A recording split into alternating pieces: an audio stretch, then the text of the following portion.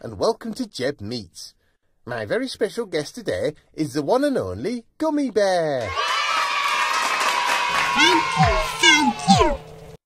Now, Gummy Bear, What? apparently you've been described as the most popular animated character on the internet. Thank you, Jeb.